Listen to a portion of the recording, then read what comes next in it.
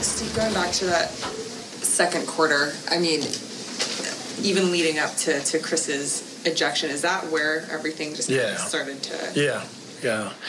We were we were pretty good the first eight minutes of the game. Ball was moving, and uh, we were getting good looks, and um, energy was good. And um, the fouling in the uh, you know late in the first quarter really hurt us. Mid to late, I think they shot 13 free throws in the first quarter, um, which put us on pace to give up 52 which is exactly what we gave up. So we just foul, foul, foul, foul, foul, and um, you can't can't win in the NBA if you're constantly trying to attack a set defense after free throws, and you're giving up, you know, basically 44 points uh, tonight off the free throw line. So it was the fouling, and then I think the offense stopped too. The ball really stuck after the first eight minutes, and uh, so that second quarter was really frustrating for everybody. And um, I like the way the uh, the bench came in and fought in the second half and gave us a chance, but um, we have to be much more consistent. And then with Chris's ejection, I mean, from your vantage point, from your understanding, what Chris said, what Scott said, I mean, I know you also got a technical on that play. Yeah. What was the issue? What was going on there? Uh, I I think Scott just felt like um, Chris didn't stop, and then he kept going, and that's why he gave him the second one. So um, that was his explanation. What was your frustration when you were, you know, drawing at him? Well, I didn't. I, I didn't think Chris deserved to be ejected. I mean, I, I don't. You know, the, the the first tech, absolutely, but I thought um, the second one was unnecessary. You know, I mean, everybody gets frustrated out there, and um, you know, but that's uh, that's up to the official. What was your uh, your thoughts on on how the bench was able to get you guys back into the? Was any consideration of what Steph or? There was consideration, but you know, it's one of those games where um, the bench goes out and plays great, um, much better than the starters played, and um, they get you back in it, and you reward them, you stay with it. But we we definitely thought about it, um, but um, those are those are weird moments, you know, as as a coach, where you just it doesn't feel right to go away from the group that is playing great, and um, you know, I think uh, that was a decision to stay with them because they were making the run, and um, it's kind of usually how we, we do it. Most teams do it. What was sort of the practical impact and the emotional impact of losing Chris at that stage?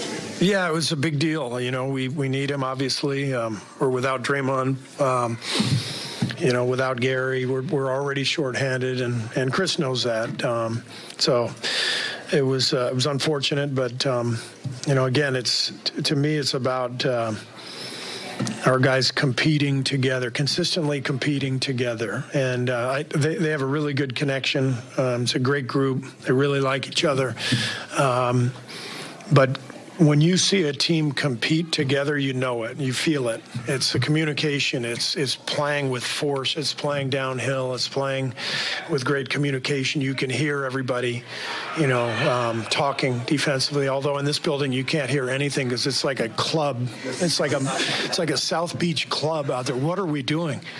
I'm being dead serious. Like I couldn't hear anything out there. It's just the whole whole game. It's just this thumping techno club music. Can we just have a basketball game anymore? What the hell?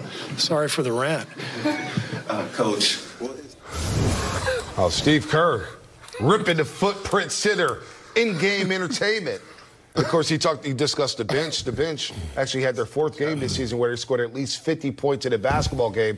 But he also touched on Chris Paul and the ejection. Said, look, he deserved a technical, but an ejection, absolutely not. But Steve Kerr kept it professional there, Millie. Yeah, much like players and coaches, referees have to be held to the same standards. It's all about your decision making. Chris Paul may have said something for the first technical foul.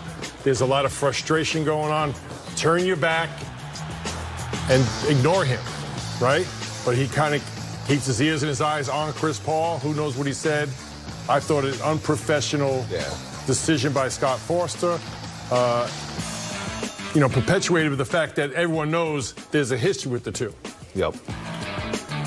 Unbelievable right there. I, I, I don't even know what to say. There has to be a limit in how many texts you can call in one game as well. Scott Foster, there's a very active night for him. Um, but I don't want to focus all the attention on Scott Foster because um, because I also believe that this this this game was just a you know, they talk about the basketball gods and karma. And with the Warriors, the idea of this game is to focus on the details of this game. And so all those turnovers and all that, eh, they just caused a lot of frustrations Right. that led to the first tech. And maybe that was out of frustration, but Scott Foster's frustration back led to a bunch of the other calls. And, you know, it's just, like I said, it's karma. I, I like your perspective about that because we're talking about Chris Paul being ejected Right. and how it affected the Warriors. How about the fans? Yeah. That's Somebody the other perspective too. Hey, there may be a Chris Paul fan there in Phoenix, Arizona, seeing him I'm for sure the first time. And you pay a lot of money. Warriors are a hot ticket, and you eject them with 23 seconds left in the first half because you don't like them because of the personal history. Just unacceptable, unprofessional by Scott Foster. I'm sorry. That's just you can't have that in this league. Speaking of which, let's hear from CP3. Radio Bonte is out right now. It's unacceptable. Yeah, it's it's personal. Yeah, we had a situation some years ago, and it's personal. You know what I mean? Like the league know, everybody know. It's been a meeting and all that, and it's just a situation with my son, and so it's yeah, we yeah, so. I'm I'm okay with a ref talking, you know, saying whatever, saying just don't use a tech to get your point across. You know what I mean? So I got to do a better job making sure I stay on the floor for my teammates. But yeah, that's that's that. You said it's a situation with your son. Yeah, they know what it is. He know what it is too. So We don't know what it is. yeah, it's just know I had a meeting with him, my dad, Doc Rivers, Bob Delaney, and all us. So yeah, yeah, him too Is that back in when you were with Houston? with the Clippers. Clippers? So You come out of that meeting thinking, it was a whole thing, man. But it's it's still been a thing for a while.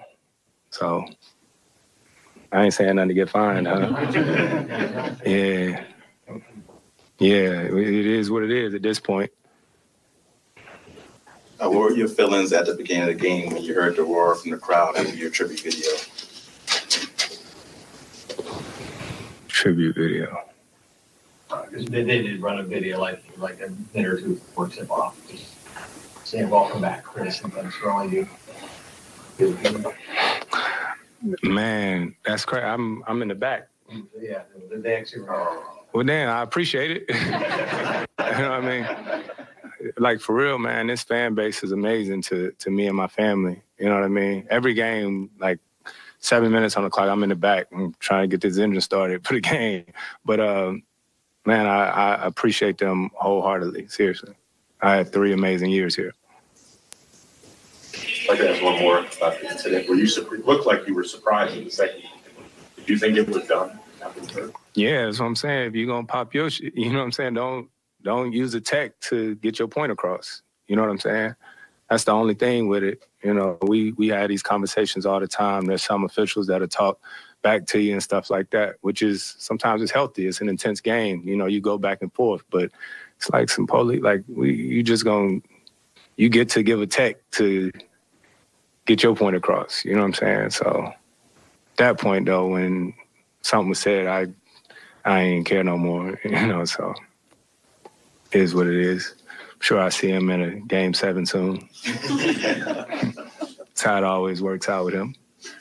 Just one more on that. You mentioned he's trying to make a point. What point do you think he's trying to make to you? I don't know. He got the power because he can call a tech. You know what I'm saying? So that's, that's how it's been for a long time. You know what I mean? He, I ain't gonna go there. Let me chill. Um, yeah, you got to say the judge, jury, and the, yeah. All right,